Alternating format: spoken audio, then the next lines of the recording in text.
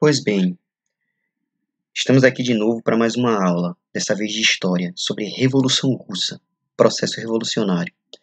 Eu selecionei esse slide pelo fato dele ser bem sucinto, bem simples. Em cima dele que nós trabalharemos as complexidades que tanto antecederam como fizeram com que se desenvolvesse a Revolução Russa.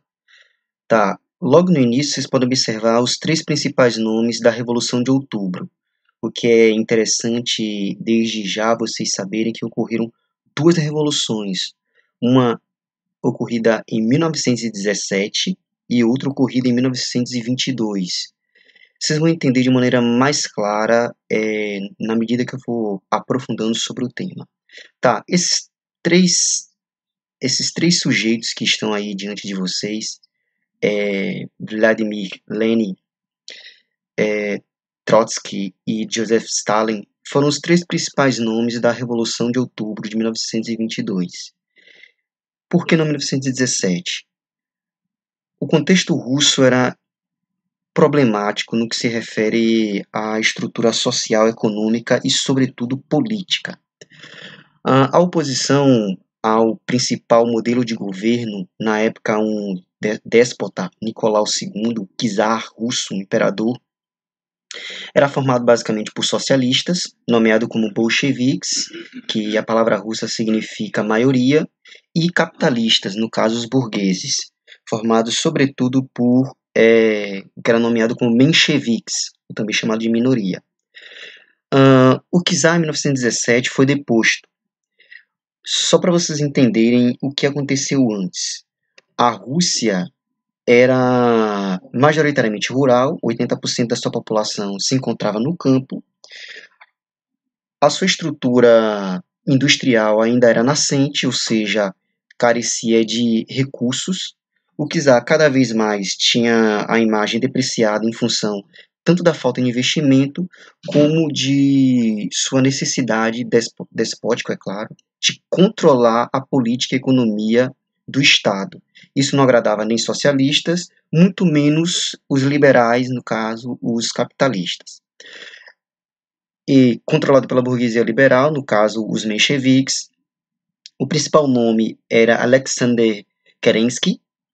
Algumas medidas foram tomadas, inclusive nesse mesmo contexto, a família Romanov foi assassinada. Vou mostrar aqui a imagem para vocês. Ah, esse livro é muito interessante. Quem tiver tempo e vontade, obviamente, o livro de George Orwell, A Revolução dos Bichos, que trata criticamente sobre o contexto da Revolução Russa. Tá, a família Romanov, como vocês podem observar aqui na imagem, é claro que é uma representação que foi colorida digitalmente, foi assassinada. O, o imperador russo, o Tsar ou Czar, tinha, digamos, um histórico que desagradava por completo os dois lados. Teve um episódio específico chamado de Domingo Sangrento. É interessante vocês é, entenderem que esse episódio, que ocorreu em 1905, é, manchou ainda mais a imagem do czar russo, uma vez que a população rural foi reivindicar de maneira pacífica junto ao czar melhores condições de vida e a maneira mais é, a maneira mais violenta que o czar pôde escolher ele optou por receber os, os que estavam reivindicando melhores condições de vida. Foi na base da bala mesmo. E deixa eu colocar aqui domingo sangrento, porque há representações artísticas. Rússia. Bom que já tem aqui.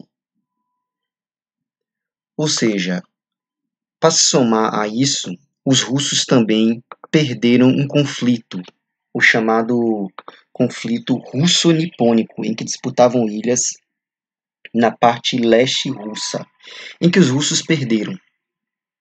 E cada episódio em que o rei, no caso, desculpa, o czar Nicolau, era derrotado, inclusive ele liderou algumas campanhas na Primeira Guerra que também perdeu no conflito, algumas batalhas, fazia com que a imagem do czar fosse sendo depreciada. Em 1917, portanto, a, ocorreu a deposição do czar, liderado por Alexander Kerensky, que assassinou a família a, a família czarina um dos episódios mais marcantes na Revolução Russa. Alguns suspeitam, ninguém conseguiu provar que Anastácia, a filha mais nova entre as, entre as mulheres, conseguiu sobreviver, mas ninguém conseguiu provar de fato se ocorreu isso. É, deixa eu mostrar essa imagem que é curiosa. Isso aqui, é o, isso aqui foi o quarto onde supostamente ocorreu o massacre da família. Deixa eu ver se tem alguma imagem aqui. Fizeram a examinação recentemente do corpo, só que não precisa mostrar. Aqui uma imagem, inclusive, da National Geographic, mostrando o, que foi encontrado o corpo da família Romanov. Bom, é, quais foram as principais medidas feitas pelos mencheviques? Redução na jornada de trabalho, uma vez que a organização proletariada russa ainda nascente já reivindicava melhores condições de trabalho, inclusive foi nesse contexto que começou a surgir os bolcheviques, que tem por base teórica o marxismo, ou seja, tem como pretensão de organização social, política e econômica o socialismo. Anistia aos presos políticos e permissão para a volta dos exilados. Curioso que algumas das prisões mais cruéis é, era na Sibéria, como vocês bem sabem, uma das regiões mais frias do mundo. Botar prisão necessitem ainda. Na Sibéria. Ah, sabia. Prisão russa na Sibéria. Sabia que encontrar. Tá. É, um dos sujeitos que nesse contexto falava que a a Revolução Russa ia acabar de maneira, digamos, problemática, foi um sujeito, um anarquista, chamado Mikhail Bakunin, que foi preso, inclusive, na Sibéria e lá teve escorbuto. Escorbuto é uma doença que faz com que, faz com que as pessoas, em função da falta de vitamina C, perca todos os dentes. Tá. A Revolução Russa foi marcada, portanto, por essas duas partes. Só mais um trecho. Garantia das liberdades fundamentais do cidadão. Tá. A Revolução Russa, ela, uma das coisas extremamente importantes para vocês compreenderem foi a diferença entre as duas revoluções. Você tem que entender que ocorreram duas. O novo governo não ofereceu respostas rápidas aos problemas sociais do povo, que passava fome. Os invernos russos são extremamente rigorosos, e quando as colheitas na primavera e no verão não são, digamos, suficientemente satisfatórias, a população passa fome.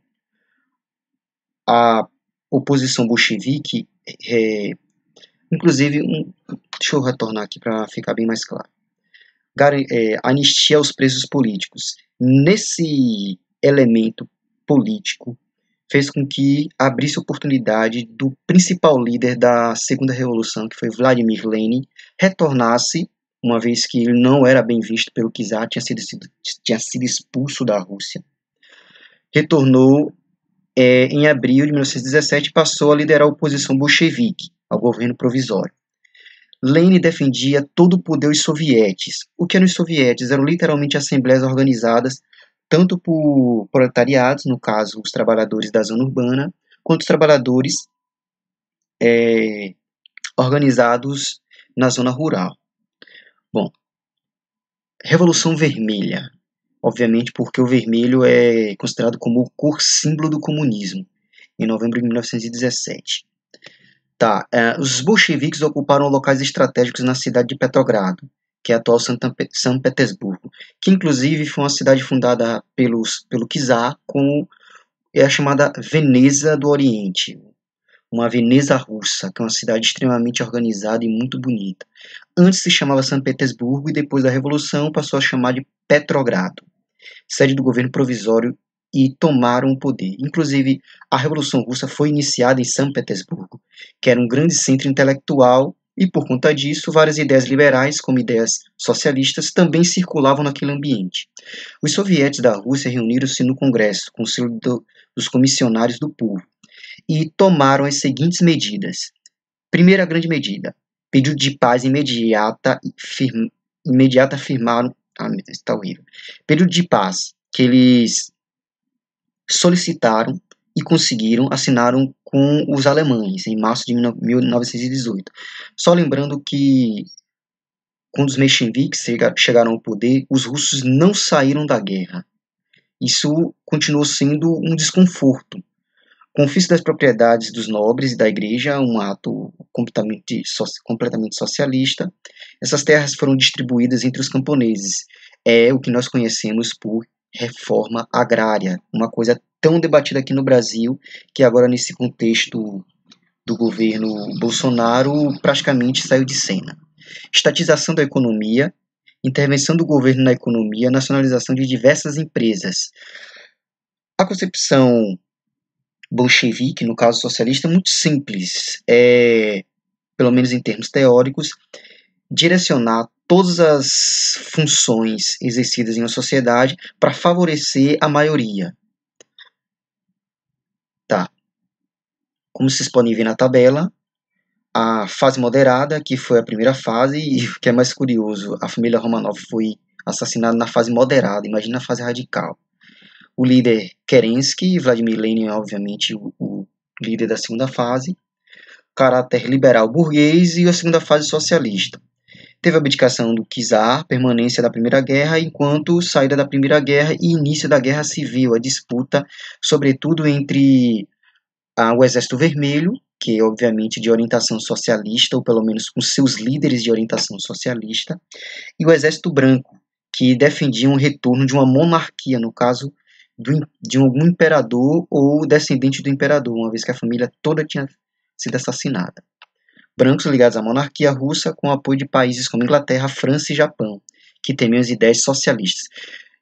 É interessante vocês entenderem que esse receio ah, europeu e, na verdade, mundial, sobretudo por parte dos burgueses, da expansão do socialismo, vai alimentar o imaginário, inclusive medidas políticas radicais, durante todo o século XX. A gente vai estudar sobre a Guerra Fria, como as medidas, sobretudo estadunidenses, para conter o expansionismo socialista, hum, fez com que ele influenciasse e, na verdade, exercesse poder até direto em países que eles percebiam alguma ameaça da invasão e domínio do socialismo. Os bolcheviques que resistiram e mantiveram-se no governo, sendo assim, os russos eles aboliram esse nome provisoriamente, pelo menos até 1991, e adotaram o nome de União das Repúblicas Socialistas Soviéticas, que é exatamente a reunião em função da Rússia ser um território extremamente vasto. Várias etnias faziam parte desse território e, portanto, o nome tentava contemplar a diversidade étnica desse, grande, desse vasto território. Os bolcheviques que mudaram o nome do partido para comunista é, isolamento internacional, a Revolução Comunista causou terror em grupos do mundo inteiro. É, estes grupos consideravam o socialismo uma ameaça à riqueza privada. Dessa forma, os governos dos países capitalistas procuraram isolar a Rússia para impedir o avanço do socialismo. Tá? Um dos elementos que eu quero que vocês observem é qual foram as primeiras atitudes tomadas do governo socialista, que em termos teóricos, era todo baseado na concepção do comunismo, como a própria palavra tenta indicar. O governo, na verdade, o governo em função do proletariado, na verdade, o proletariado no poder. A economia e a sociedade russa estavam arrasadas. Portanto, quais foram as medidas para tentar conter esse, essa, essa situação extremamente degradante? O governo abandonou, abandonou a ideia comunista provisoriamente, é, que manteve a economia no país sob controle governamental o tempo todo, ou seja, o governo controlava a economia em função do contexto da guerra. Adotou, obviamente, uma chamada NEP, que é Programa para Reconstruir a Nação, retornou a, a práticas capitalistas liberais de comércio interno e de salários, a criação de empresas privadas, um elemento que é curioso. Várias medidas que são absolutamente liberais no governo de Vladimir Lenin, só lembrando a vocês que esse foi, nesse, foi no contexto do governo provisório, na verdade provisório não, no governo de Vladimir Lenin, e empréstimo de capitais estrangeiros. Tá. Aí a situação começou a mudar. Alguns acusam, obviamente não há provas concretas, que o principal líder foi envenenado por Joseph Stalin, na verdade, amando de Joseph Stalin. Não há como provar, mas recentemente, eu acho que se eu não estou enganado, em 2016 ou foi 2017, o corpo de, Vlad, o corpo de Vladimir Lenin foi exumado e descobriu-se que ele foi envenenado, um envenenamento gradativo, não foi súbito, ele foi sendo envenenado e morreu em 1924.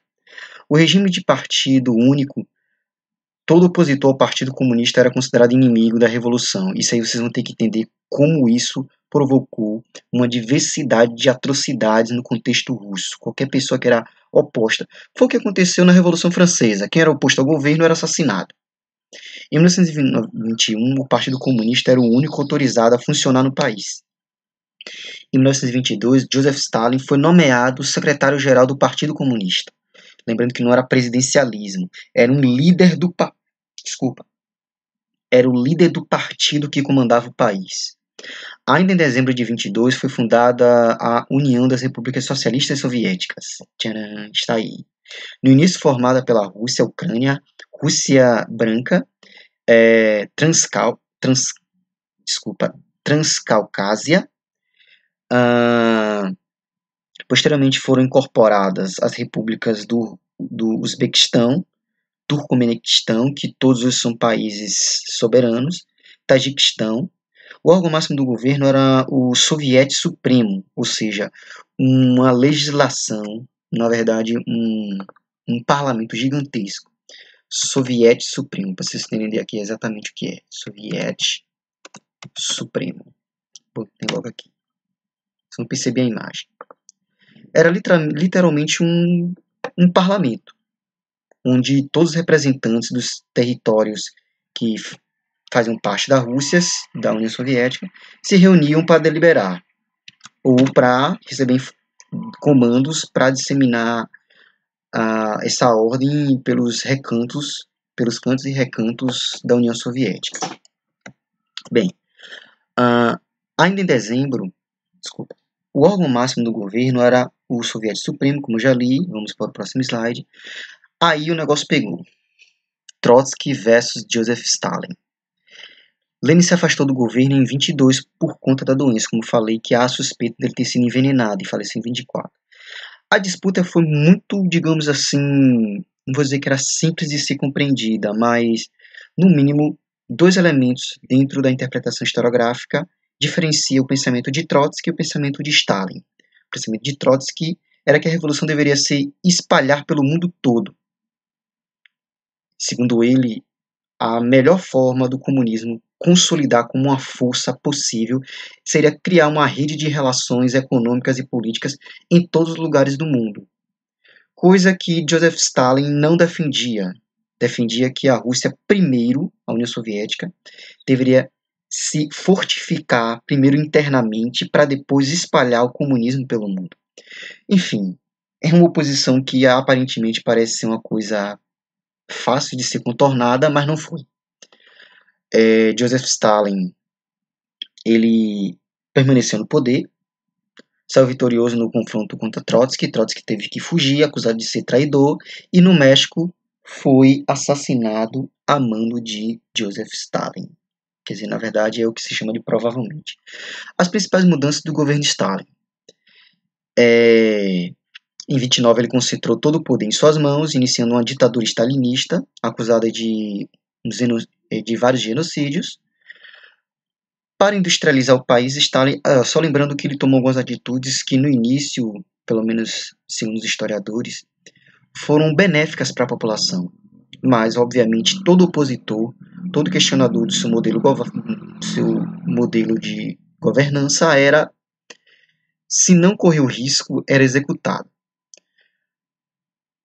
É, para industrializar o país, Stalin é, renacionalizou a economia, abandonou o modelo econômico do NEP e executou planos quinquenais por meio de planejamento econômico estatal.